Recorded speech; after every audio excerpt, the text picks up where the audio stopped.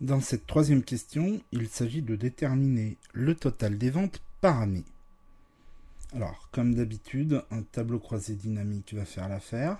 Onglet Insertion, tableau croisé dynamique. La fenêtre apparaît me demandant si je souhaite créer une nouvelle fenêtre et sélectionnant la table, comme d'habitude, je fais OK. Et je me retrouve donc avec la liste des champs. Le total de mes ventes, c'est le champ montant sur lequel il y a un calcul. Je le dépose donc dans la zone de valeur. La somme des ventes est réalisée. Pour ce qui est de la date, les mois et l'année sont bien la date. Je les dépose en zone de ligne. Et là, on se rend compte que on obtient bien le résultat, mais par jour. En effet, l'ensemble de mes ventes a été rentré par jour.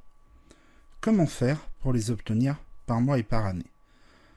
Donc ce n'est absolument pas la peine d'aller dans la liste de base pour utiliser des fonctions de date complexes, de regroupement divers et variés, alors que les tableaux croisés dynamiques ont une option qui permet de faire tout à fait l'affaire. Dans l'onglet Options des outils de tableau croisés dynamiques, nous allons grouper les champs. Et pour ce faire, comme vous le voyez Grouper les champs est ici dans le groupe groupé grisé.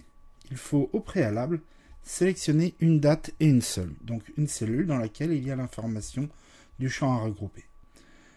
Je fais grouper les champs, une fenêtre apparaît qui me propose de regrouper les champs. Alors, suivant que ma date a été générée par exemple par une fonction maintenant qui donnerait l'heure, les minutes et les secondes, pourrait regrouper en secondes, en minutes, en heures, en jours, en mois, en trimestre et en année. Donc on voit qu'on a de nombreux types de regroupements possibles. Par défaut, c'est le mois qui est présélectionné. Rien ne nous empêcherait de le désélectionner en cliquant dessus. Et on peut en sélectionner plusieurs, en l'occurrence ici les mois et les années. En effet, c'est une erreur classique. Si je me contente des mois, je vais me retrouver avec le mois de janvier d'une année et le mois de janvier d'une autre, regroupés dans le même mois de janvier. Les chiffres seront faux. Donc pensez bien à toujours regrouper par année euh, à partir du moment où euh, vos informations s'étendent sur plusieurs années. Mais a fortiori, ça peut toujours arriver, donc c'est jamais un luxe que de regrouper par année, même si à la base on souhaite avoir un regroupement mensuel. Dès que je fais OK, miracle, je me retrouve avec mon regroupement de réalisé.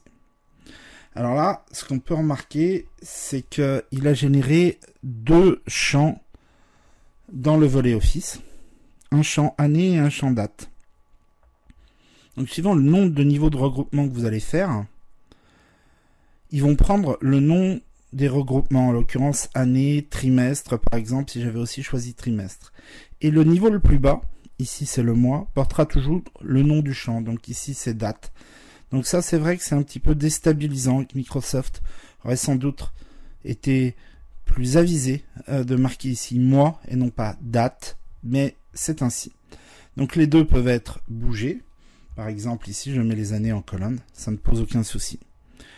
Il me reste plus qu'à faire les paramétrages habituels, en l'occurrence ici mettre mon texte en monétaire, enlever les divers outils de construction, aller dans l'onglet création afin de choisir une mise en forme. Pour me retrouver avec un tableau croisé dynamique réalisé. Jusqu'à présent, dans les deux premiers exercices, deux premières questions, nous avions renommé le champ dans la fenêtre paramètres de champ je peux vous montrer qu'on peut le faire directement sur la cellule elle-même. Dans ce cas, ça pose aucun problème. Voilà, donc nous avons vu dans cette question 3 comment on pouvait regrouper des champs de dates afin d'avoir des dates par mois, par trimestre, par année.